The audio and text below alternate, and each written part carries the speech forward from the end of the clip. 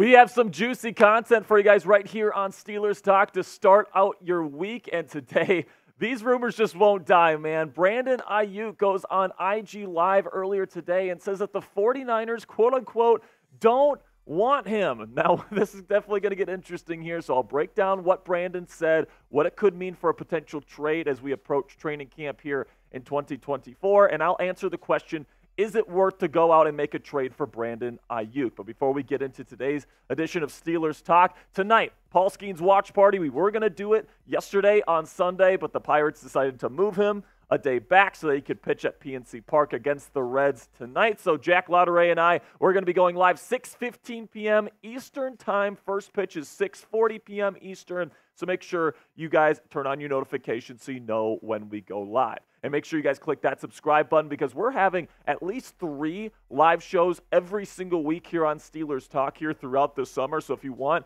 to join the most interactive uh, Steelers and Pirates community here on YouTube, make sure you click that subscribe button right now. So now let's get into Brandon Aiyuk here because this was a complete bombshell that was dropped this morning. Brandon Aiyuk goes on his Instagram live and he calls up his buddy from Arizona State, Jayden Daniels, the current uh, quarterback for the Washington Commanders, and he said that the 49ers don't want him anymore. This is what he said to Jayden. They said they don't want me back. I swear. And this comes right after a report from ESPN's Jeremy Fowler er, uh, from this weekend that contract negotiations between Aiyuk and the 49ers have stalled. This is what Fowler had to say. They're going to see what happens over the next six weeks leading into training camp. The 49ers want Aiyuk long term in the fold, but so far they have not been willing to show that they're going to meet the market of wide receiver, which we're seeing these massive numbers. Amon-Ra St. Brown in Detroit, 30 million. Justin Jefferson well above that at 35. Aiyuk believes he's a top guy, and so something's got to give. And so he's worked himself into a top 10 receiver conversation. We'll see. Not a lot of momentum right now, not a lot of optimism. If you are a Pittsburgh Steelers fan right now, you are absolutely elated to hear this news. We know that the Steelers have been looking to replace Diontae Johnson ever since they traded him to the Carolina Panthers. It seemed like the Steelers really wanted Mike Williams, but then he ended up signing with the New York Jets before he could visit the Pittsburgh Steelers. And the Steelers really didn't have a backup plan after that to try to uh, address this position. They tried to get a deal done with the 49ers for either Aiyuk or Deebo Samuel before uh, the draft, and apparently they were really close to a deal before that uh, deal eventually uh, went through. Uh, so listen, man, this is definitely opening up the door to a potential trade for the Pittsburgh Steelers. And at this point, man, I'm willing to say that Brandon Aiyuk is actually probably the most likely trade target for the Pittsburgh Steelers on the market right now. Because you look at the rest of the market, it doesn't look like San Francisco is going to deal Deebo Samuel this offseason.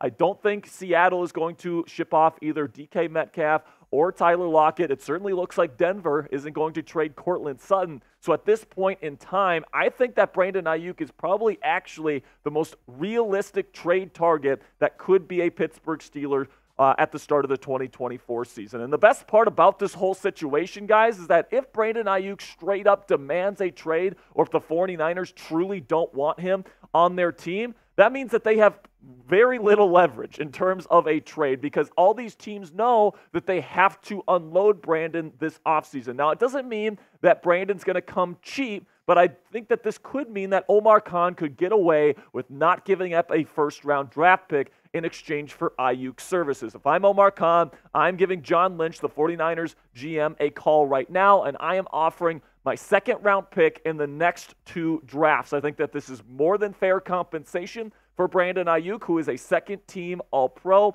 And then, you know, San Francisco doesn't have a ton of leverage. Now, the Steelers probably will have to fend off some other suitors for Aiyuk services. I don't think the Steelers are the only team that would be uh, interested in a Brandon Aiyuk trade at this point. But I think that this is fair compensation here, especially because the Steelers are going to have to pony up over $30 million per season to their new receiver if they get this deal done. But let me know down there in the comment section for today's pinned comment. Would you accept this trade? Two second round picks over the next two seasons in exchange for a second team all pro receiver. Type A if you'd accept it, or type D if you're going to decline it. This is going to be the pinned comment on today's show. So YouTube's going to throw you an ad break here in just a couple of seconds. And when that happens, take advantage of that time by answering today's pinned question with an accept or decline.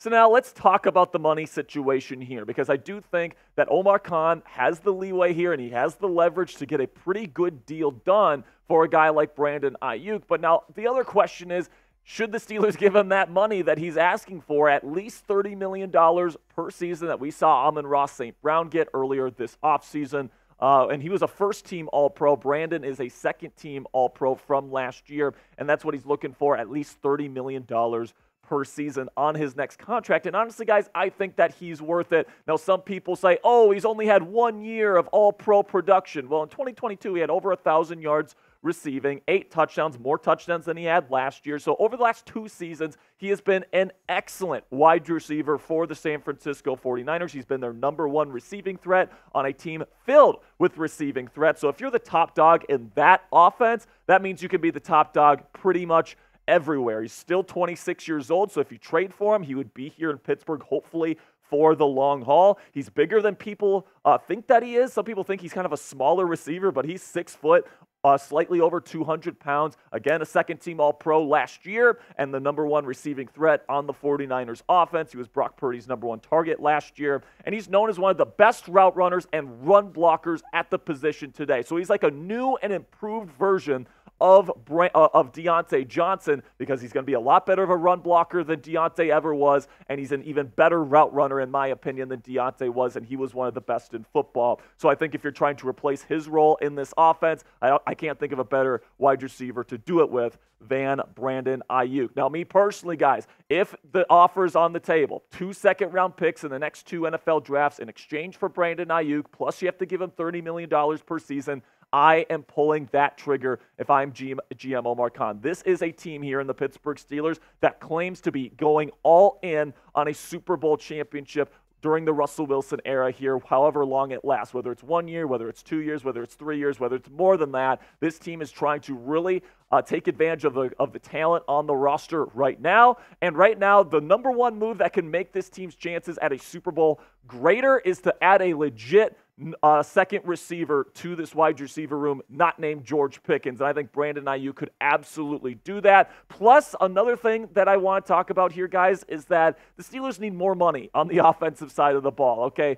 You look at all the top teams in the league, they spend their money at these wide receiver, quarterback, you know, offensive line positions. They spend their money on offense because this is an offensive league and you need to have elite offensive talent. The Steelers currently lead the league in defensive spending. They're paying TJ Watt a massive contract. Now, Alex Highsmith's cap hit is going to be kicking in this year. Cam Heyward's still making a, a, lot of money, and he wants more in future years. I mean, they got Minkah Fitzpatrick. It's start. It's it's about time, guys, that the Steelers move some of that money from the defensive side of the ball over to the offensive side of the ball. And if this team is really serious about trying to win championships right now, Brandon Aiyuk really gets that job done for the Pittsburgh Steelers immediately. Look at this potential wide receiver room for the Pittsburgh Steelers this year. You'd have Brandon Aiyuk. Yes, he would be your number one receiver. George Pickens uh, you know, for as good as he has been, he has not been an all pro receiver. Brandon has. He has that established star status, so he would at least start the year as the number one receiver. But you guys have heard me say that I think George Pickens could be an all pro as soon as this season. So you could have two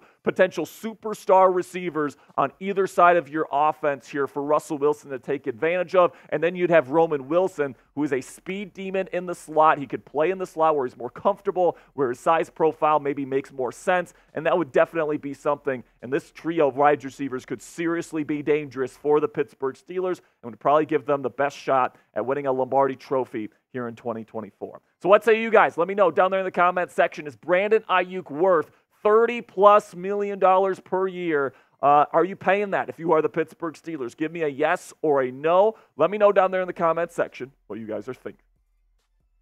Uh, a little bit of a r- reminder here tonight, Jack Lauderay and I, we will be going live for our second Paul Skenes watch party here on Steelers Talk. Again, we're going to be going live 6:15 p.m. Eastern Time for our pregame coverage. First pitch is going to be at 6:40. We're going to be, we're going to be covering the entire game. Uh, and of course, it's an interdivision matchup, so that's always fun. So make sure you click that subscribe button right now. Again, 615. Don't be late. Appreciate all of your guys' support. And until next time, here we go, Steelers.